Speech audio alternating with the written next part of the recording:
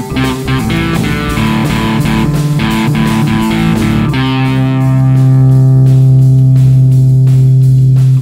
name is Kirsti Wishart, and this is The Piss Artist. After everything that's happened, it feels incredible to admit this, but there was a time not so long ago when I doubted the very existence of Fergus Malloy. The late, great Fergus Malloy, a piss artist of genius, a Caravaggio in the art of getting drunk. To see Fergus bringing in a round was akin to watching Rembrandt shape up to his easel, Matisse prepare his palette.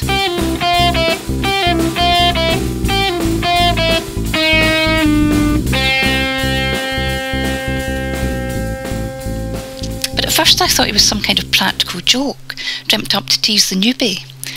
I'd be sitting in the pub, the Blue Blazer, say, or the Beehive down in the Grassmarket, one of the gang of four. Jake, who made sculptures out of stuff bought in pound shops, Annie, the abstract expressionist, and Ronald, a vegetarian Francis Bacon.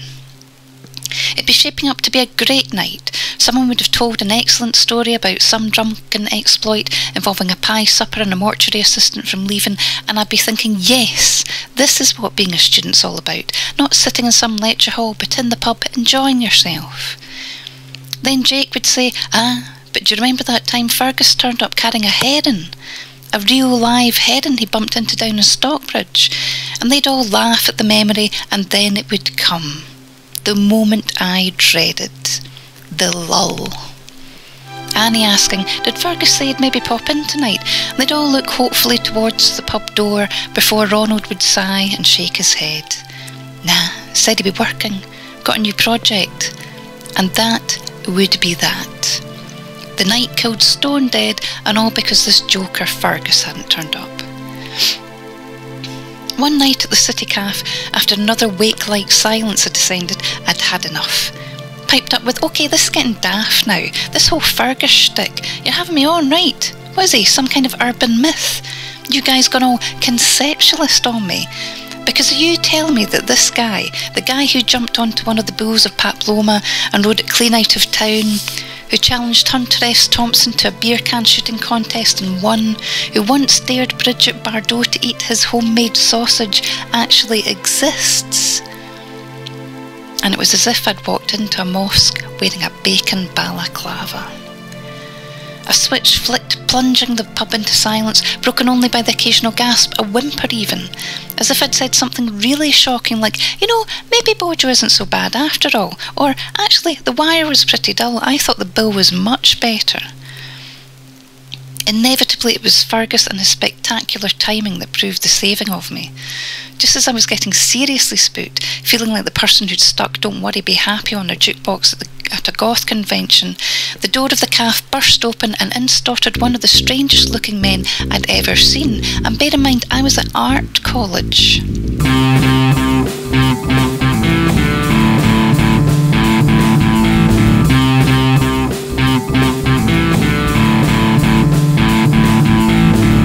Odd, but also weirdly familiar. I probably caught sight of him about town, but as he called out, Hello there! And ambled over to our booth, he kept reminding me of other things. A Giacometti statue freed from its plinth, an animated Picasso sketch of Don Quixote, an updated version of a Van Dyck portrait of Charles I having a swally. Battered black leather worky boots held together by laces and willpower alone, skinny long legs and jeans so tight I very much doubt there were any wee Ferguses running about, and his top half so bulky you wondered how those wiry legs kept the rest of him up. Wrapped in frayed layers of vests, shirts, jumpers, the occasional waistcoat, all topped off with a thick navy blue jacket that looked as if it had been previously belonged to a Russian naval commander, submarine commander, Fergus later corrected me. Won in a darts game on a trawler crossing the Caspian Sea. The purple silk scarf wrapped round his neck, the pointy beard, wax moustache, thick thatch of salt and pepper hair, short at the back and sides, but hedge dragged, paint flecked on top, spiky and curly both, should have made him look ridiculous. A man to be escorted off the premises and into the nearest madhouse. But if anyone could pull off this boho dandy, buckfast drinking Jakey pirate look, it was Fergus. By the time he'd made it to the booth, even though I hadn't even, even been introduced yet, I was grinning, happy he was here, chuffed a bit, even proud that he was joining us. Because this was Fergus's talent, his uncanny knack, his glamour, if you like. By walking into a place he could make dull pub lights sparkle, music sound sweeter, laughter flow like cold pints of Tennent's on a hot day in August.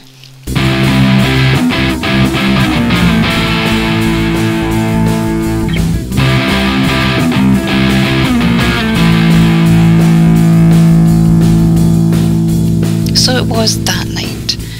Fergus took control in a way you didn't mind at all, scarcely notice, like bobbing down a river on a raft and giving yourself over to the currents, a feeling exhilarating and scary at the same time. Yes, I admit my memory is somewhat hazy, but it was to discover this as par for the course after a night, a day, a week out with Fergus. Snatches of memory coming back to you in sober moments as confusing and exotic as dreams. Was that really Fergus playing accordion with a bunch of Croatian gypsies and whistlebinkies? How had he found that club? The one in the vault under Southbridge, where you'd be dancing in the red light, turning everyone demonic, then look up and see a window.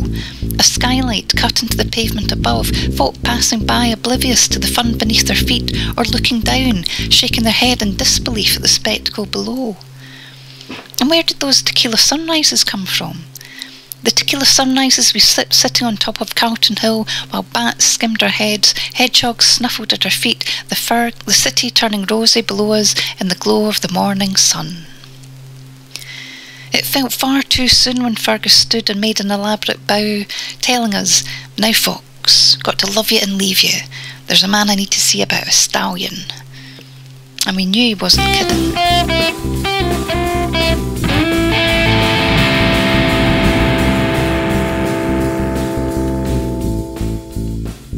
I finally understood that lull, the slump when we gave up hope of Fergus's appearance. You'd have thought sometimes it would have come as a relief. The week an essay was due, exams were looming. It was probably best you didn't spend an evening wasted breaking into Edinburgh Zoo to feed chips to the penguins, getting a tour round Edinburgh Castle at 1am by next Marine Night Watchman, or, as Jake did one morning, wake up naked in the bed of a High Court judge in the new town, clothes vanished, later located clothing various Edinburgh statues. But more often than not, Fergus's absence felt like an opportunity missed.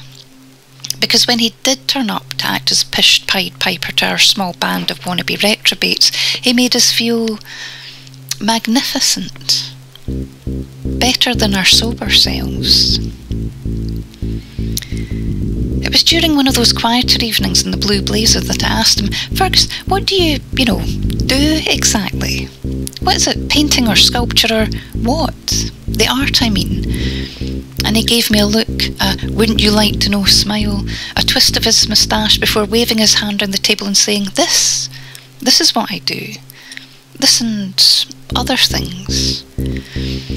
And there was Jake and Ronald talking intently, sketching out their plans for a future exhibition, an idea they'd been havering about until Fergus had got chatting to a gallery owner who'd agreed to give them some free space.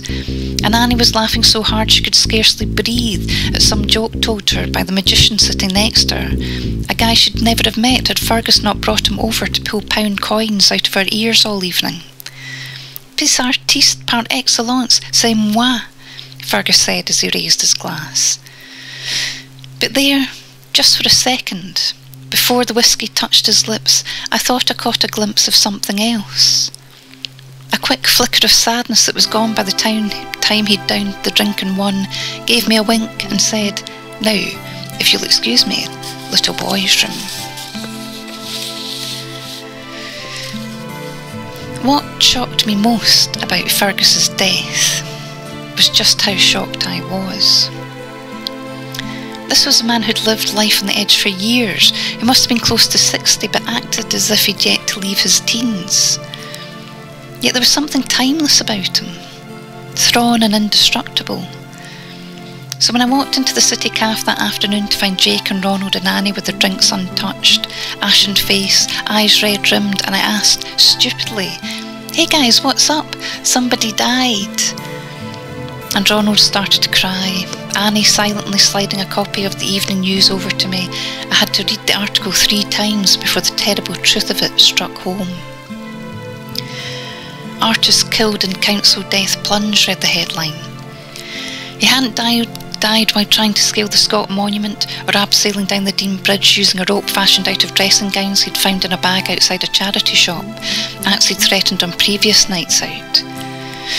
Instead, according to the account provided by a visiting mariachi band, after a night on the tequila, he'd successfully fixed a sombrero to the head of the wooden figure that stands outside the council offices, had called out a triumphant Ay caramba!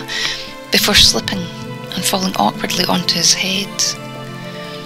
The sort of story that left you not knowing whether to laugh or cry, and so the four of us sat there for the rest of the evening and did both. The church was packed out for the funeral, all Fergus's drinking buddies brought together in grief.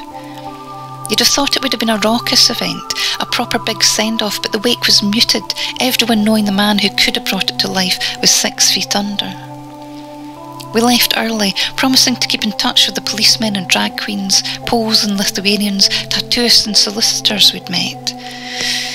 But we knew without Fergus to bind us all together, it was unlikely we'd ever see each other again.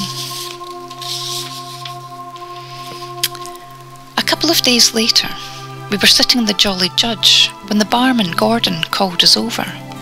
Here, Fergus wanted you four to have this, if anything happened. He handed over a brown envelope with something bulky wrapped up inside.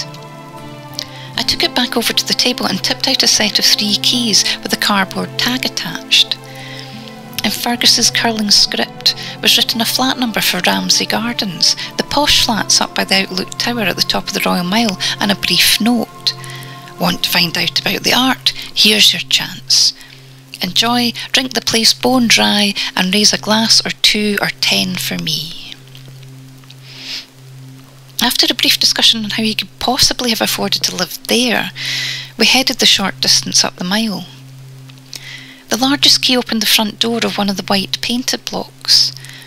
Whispering and giggling like trespassers, we made our way up past the well tended front doors of other flats, all pot plants and polished brass, until we reached the very top and stood in front of an unvarnished wooden door, covered in scratches and rough pencil sketches, burn marks, and odd stains. Are we sure about this? Annie asked. I mean, you know what Fergus was like. Could be anything waiting for us, but it was too late. Ronald was turning the Yale, shoving his way in, and we followed behind and gasped. We were in what must have been an old attic space once, long and narrow, spanning the length of the building. It was filled with dark old furniture that Fergus had salvaged from skips. Bookcases fit to busting full of paperbacks, a huge red velvet couch, the walls covered with photos and pictures torn from magazines, a glorious drinks cabinet shaped like the prow of an ocean liner, full of fine wines and whiskies, vodka and gin, and multicoloured liqueurs with languages on the labels none of us recognised. But what took our breath away was the view. That and the light, the wonderful buttery light. The windows filled one wall entirely, four of them, letting in as much of the sight of Edinburgh bathed in late August sunlight as possible. The two central panes were clear, but the other two appeared to be decorated with some sort of stained glass effect. They were covered in bands of colour, light primrose yellow at the top, shading down through to a daffodil yellow, ripe satsuma orange, burnt tobacco brown, dark port reds at the bottom.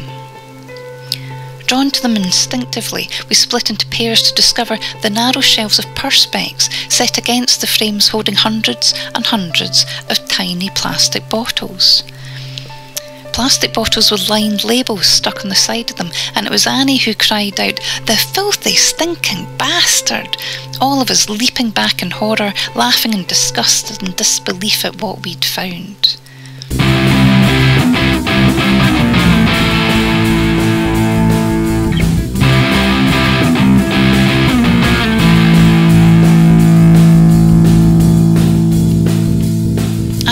Ronald opened the tiny fridge in the tiny galley kitchen, handed out cans of Tennent's, our hysteria dying down after a few swigs. Jake, wrapping his hand in some toilet paper and ignoring our ews, eased out one of the urine sample bottles and read out the label. February the 14th, 1996. The Elephant Tabor, Night in a Lighthouse, The Twins from Berlin. Another one. July 8th, 2001, Shetland. The poet chasing seals, casting pottery limpets. The sun never sets, but the northern lights blazing. We overcame our squeamishness after that, taking turns to read out Fergus's great artwork, the one he devoted his life to, the one he died for, a memorial to every night out. September the 1st, 2006. Festival fireworks, champagne with a Viscount, waking up in Queen Street Gardens covered in dew. Then we sat on the red velvet sofa facing out to the view, filled our glasses with a fine single malt, and we toasted the late, great Fergus Malloy again and again as the evening sun sank, turning us golden, and on until fireworks filled the sky. Thank you.